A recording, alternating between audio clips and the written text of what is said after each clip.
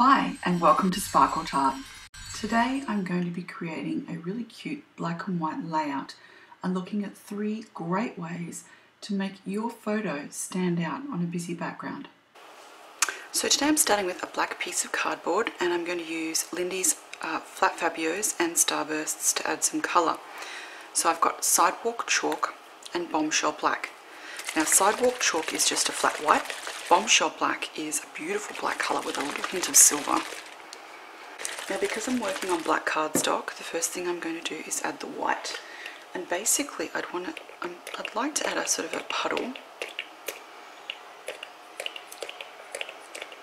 So I've got a few splatters here and then I'm just depressing the um, sprayer really slowly. So instead of getting a nice even spray, I get these sort of big splats and puddles.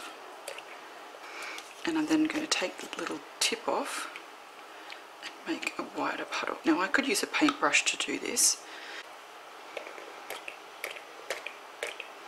And again, I'm not depressing the sprayer properly. I'm kind of trying to get it to drip out of the end here. Alright, so I've got those beautiful white splashes. Now what I'm also going to do is add a little bit of black. Now I'm not going to spray this. I'm just going to flick it on. Now I want to flick this in places where there's no white to add a little bit of texture. And I also want to flick it in the white so I get this sort of mottly grey look.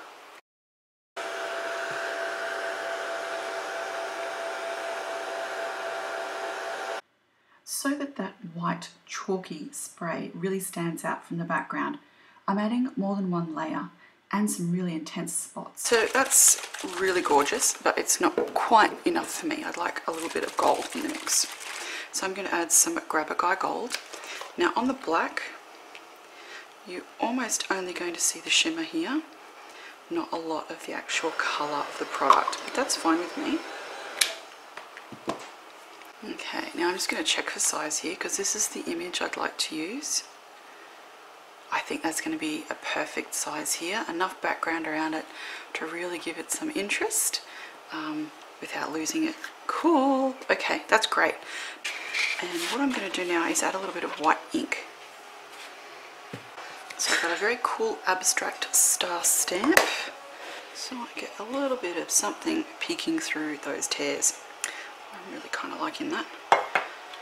Now, rather than just wipe that off my stamp, see if I can add it anywhere else, just to give a little bit of something.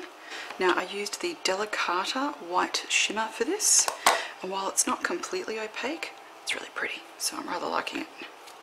Now, in keeping with my limited colour palette, I'm going to emboss some embellishments using obviously black embossing powder, purely white embossing powder, and Caesar's Gold. And I'm just going to stick to these three colours and add them to a whole batch of different surfaces so I get a few different looks. Okay, so I've got some of my embellishments ready. I think I'm still going to need to colour this little word here. And it's time to add a little bit more texture to the background. So I've got some gauze and I'm going to colour this with the Lindy's Stamp Gang spray. And then I have some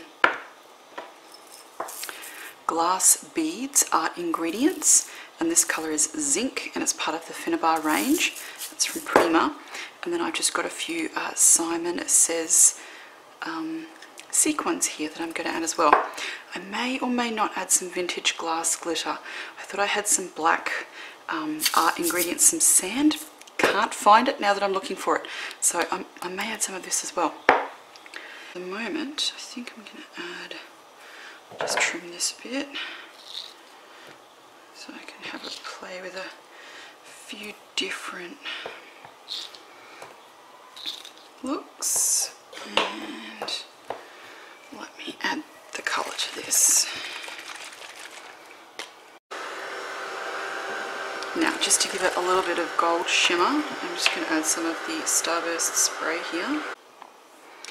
Okay, so I'm just going to roughly glue this here, just to give a little bit more sort of shape and structure to everything. Alright, so I've got uh, bubbles from the Tim Holtz collection here. And I'm just going to add a little bit of the Faber-Castell Asphalt. Um, and this is a paste. Now, my um, asphalt texture paste has dried.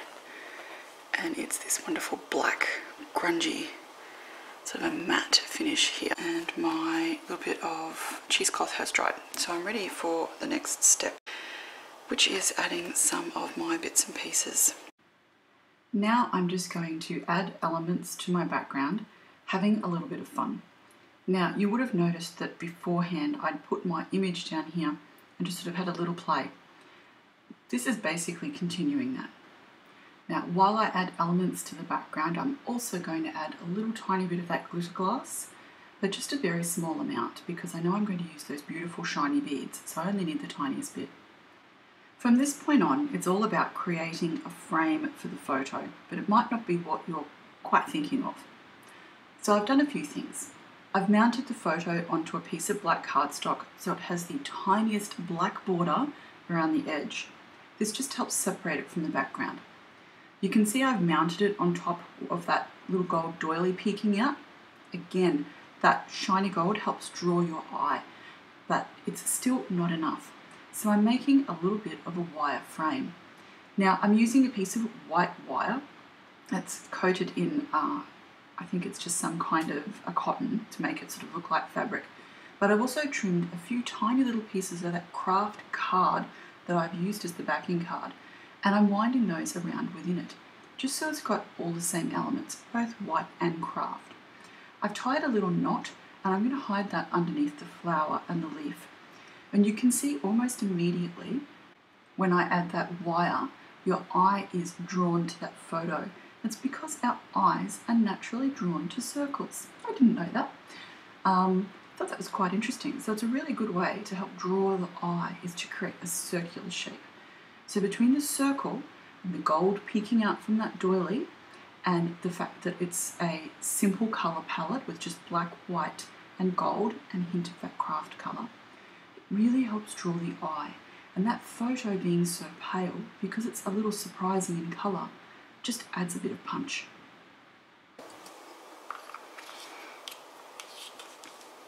Okay, this is where I make a hideous mess usually. So I've got some of the glass beads in the colour zinc. And these go everywhere. And every time I do it I think, oh I should do this in a tray. But I don't. Now the beads I'm adding also help draw your eye. Because they've got a bit of a shine or an iridescence, a bit of a almost um, an oil slick look to these, they naturally catch the eye. So what I'm doing is I've added glue in a few areas towards the outside of the decorations, but mostly leading in towards the photo and I'm going to add the heaviest concentration of beads in there towards the photo. And what this will do is again, between the shine and the little metallic elements and the beautiful circle of wire, this all works together to frame that photo and just draw your attention right to the photo. So the minimal color palette, the pale photo because it's a bit different, and all of these little elements just help trick us and draw the eye so the photo really stands out. Um, so what I'm going to do is I'm going to go and grab a large tray. Um, it can be sort of any, anything as long as it has a lip on each side. And I'm very carefully going to tip the excess beads back into the tray. Well, as you can imagine, that went well. it ended up with me chasing beads all over the floor and I'm pretty much covered in glitter, but you know, that's okay. Now my final touch is just going to be a few uh, little sequins just to lighten it up slightly. Not a whole lot, just a couple. I'm going to do my usual trick, I'm just going to put some glossy accents on a piece of scrap paper. Dip the sequins into it. As a final touch, I've decided to spray my chipboard word with a little of the Lindy's Flat Fabio in Sidewalk Chalk, just to finish it off. But you can see how beautifully these elements all go together. And the final page really does draw the eye to the photo. The gold elements covered in that Lindy Stamp Gang embossing powder look absolutely gorgeous. And when you combine that gorgeous shiny gold with the matte black, the matte white, and some of the beads and other elements, it really does help to sort of make all of those very busy ingredients into something that draws the eye. So an effective scrapbook page with a photo is the hero. If you enjoyed this video, I'd love you to give me a like, and if you'd like to see more from Sparkle Tart, subscribe to my YouTube channel. There's a product list below the video in the description, and you can connect with me via YouTube, Facebook, Instagram, Pinterest, Twitter, or Google+. Thank you so much for watching. Bye!